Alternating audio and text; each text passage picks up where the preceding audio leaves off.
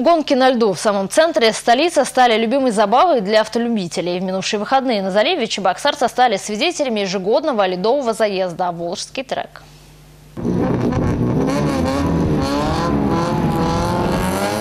Скорость, фонтаны, снежные пыли. Картина по-настоящему захватывает и завораживает. Конечно, не Формула-1, но очень впечатляет. В столице Чувашии в скорости и мастерстве состязались 48 автогонщиков. Ну, вообще у нас э, ледовые гонки проходят ежегодно. То есть в рамках чемпионата республики по ледовым трековым гонкам э, проходит э, класс стандарт. Вот, два класса спортивных и пять классов стандартных автомобилей. То есть эти гонки у нас проводятся уже на протяжении шести лет. Соревнования проходили в четырех зачетных группах. В классе стандарт выступали автолюбители из серийных авто и обычной шипованной резине. Для опытных автоспортсменов устроили массовый старт. Зрелище было что надо. В одном из заездов даже чуть не потребовался фотофиниш. Участники шли ноздря в ноздрю, но все решили долей секунды. Кстати, в одной из групп сражалась прекрасная половина автовладельцев. Для меня это уже вторая гонка.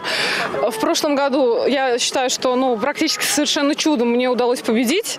Я впервые села в машину, в чужую машину, впервые выехала на лед. Ну и, как я говорю, наверное, с испуга э, получилось э, завоевать первое место. В этом году э, все гораздо более осознанно. Во-первых, я пересела сейчас э, уже на свою машину, мне уже сейчас не так страшно. Опыт есть. И в результате тренировочных заездов я поняла, что соперники в этом году достаточно серьезные. Виталий Чекушкин самый юный участник заезда. В свои 13 лет он уже второй раз пробует силы в гонке. На льду рулить сложнее, чем на дороге, признается водитель. Но по его собственному признанию, опыта ему не занимать.